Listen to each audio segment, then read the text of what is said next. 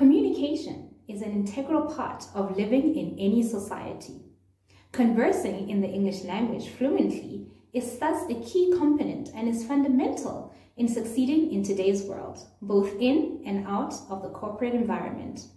Hi, my name is Jennifer and I am from Lesotho.